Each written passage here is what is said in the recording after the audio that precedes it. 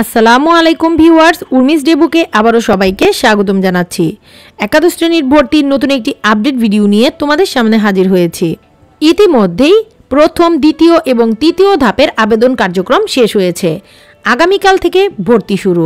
এই জন্যই একটি নিউজ আপডেট প্রকাশিত হয়েছে ডেলি ক্যাম্পাসের অনলাইন পত্রিকাতে। চলো বিস্তারিতভাবে জেনে নেই। আপডেটে লেখা রয়েছে, একাদশে ভর্তি শুরু কাল, ক্লাস এক ফেব্রুয়ারি। আগামীকাল রবিবার বাইশ জানুয়ারি থেকে শুরু হচ্ছে একাদশ শ্রেণীতে নির্বাচিত শিক্ষার্থীদের ভর্তি। আগামী বৃহস্পতিবার ছাব্বিশে জানুয়ারি পর্যন্ত নির্বাচিত শিক্ষার্থীদের কলেজে ভর্তি করা হবে। আগামী এক ফেব্রুয়ারি থেকে একাদশ শ্রেণীতে ক্লাস শুরু হবে। ইতিমধ্যে একাদশ শ্রেণীতে ভর্তি হতে তিন ধাপে আবেদন গ্রহণ ও শিক্ষার্থী নির্বাচন করা হয়েছে। একাদশে ভর্তির সময় শিক্ষার্থীদের এসএসসি ট্রান্সক্রিপ্টের মূল কপির পরিবর্তে অনলাইন কপি জমা নিতে প্রতিষ্ঠান প্রধানদের নির্দেশ দেওয়া হয়েছে।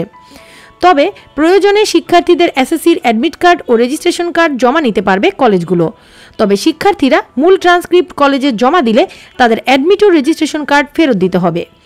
জানা গেছে, একাদশ শ্রেণীতে অনলাইনের মাধ্যমে ভর্তিচ্ছু শিক্ষার্থীদের কলেজ ভিত্তিক তালিকা আজ শনিবার, একুশ জানুয়ারি একাদশ শ্রেণীতে ভর্তির ওয়েবসাইটে কলেজ প্যানেলে প্রকাশ করা হবে।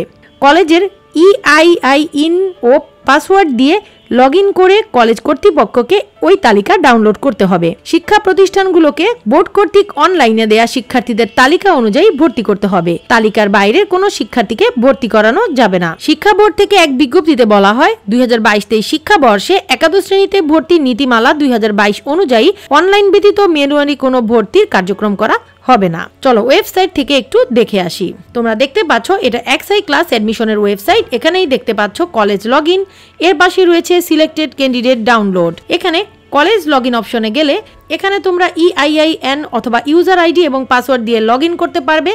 ঠিক একইভাবে সিলেক্টেড ক্যান্ডিডেট ডাউনলোড এই অপশনটিতে ক্লিক করলে ইআইআইএন বা ইউজার আইডি দিয়ে পাসওয়ার্ড দিয়ে লগ ইন করেই তোমরা সেটি ডাউনলোড করতে পারবে। তাহলে বন্ধুরা, আজ এই পর্যন্তই। আবারও দেখা হবে নতুন কোনো ভিডিওর আপডেট নিয়ে। তাই বিদায় নিচ্ছি আজ। আল্লাহ হাফেজ।